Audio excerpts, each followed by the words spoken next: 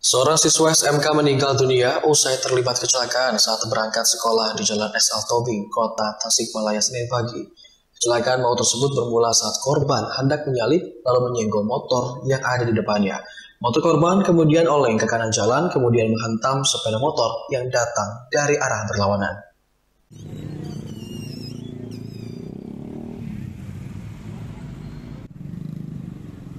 Insiden kecelakaan maut di Jalan SL Tobing, Kecamatan Cihideng, Kota Tasikmalaya, kembali terjadi pada Senin pagi.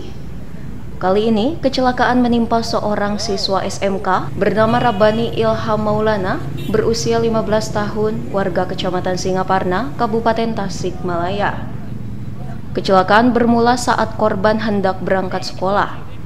Di lokasi kejadian, motor korban yang hendak menyalip menyenggol motor yang ada di depannya. Motor korban kemudian oleng ke kanan jalan dan menghantam sepeda motor lain yang datang dari arah berlawanan. Menurut saksi mata yang motornya tersenggol korban, Asep Rahmatillah mengatakan, saat kejadian dirinya hendak berangkat kerja. Saat melewati lokasi kejadian, motor yang dikendarai tiba-tiba disenggol motor lain dari arah belakang dengan kecepatan cukup tinggi. Korban tewas tidak menggunakan helm sehingga kepalanya langsung membentur aspal. saya kurang tahu pastinya, tapi katanya senggolan, katanya senggolan. Dua motor itu jatuh, yang setahu saya itu sudah nabrak saya motor yang jatuh, berikut orangnya nabrak saya dari arah sana, dari arah hmm. berlawanan. Oh jadi motor jatuh, bapak ketabrak motor jatuh ketabrak, ya? Ketahuan nabrak, ketabrak orang, ketabrak motor sih. Hmm, saya kan kurang panik juga. Oh iya. Ketika iya. ada yang jadi depan.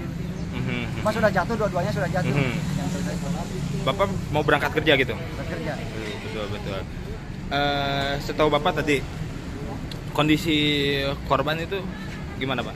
Katanya yang satu meninggal dunia, tapi yang satu gak apa-apa kelihatannya. Yang satu luka-luka nah, saja apa gitu. Bawa motor itu kan mereka hmm. itu masing-masing bawa motor. Betul betul betul. Teknologis awal mulanya dari kendaraan yang datang dari arah Linggajaya mengarah pada Yungan pada saat akan mendahului eh, sepeda motor tersebut e, bersenggolan dengan sepeda motor yang datang dari arah yang sama.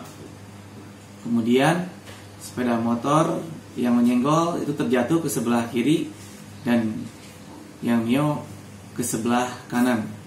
Setelahnya itu yang ke sebelah kanan itu bertabrakan kembali dengan kendaraan yang arah berlawanan.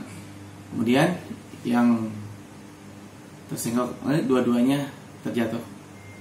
Berarti korban eh, tidak menggunakan helm kemudian betul. Pada saat eh, korban abakan mereka tidak menggunakan helm sehingga mereka pengendara tersebut terjatuh dan kepalanya terbentur ke aspal.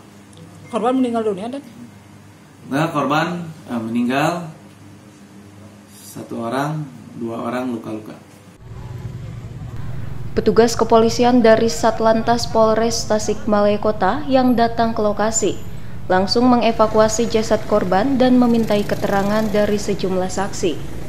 Akibat kejadian tersebut, arus lalu lintas dari kedua arah sempat terjadi kemacetan. Fajar Rivaldi, Rifki Sebani, Radar TV melaporkan.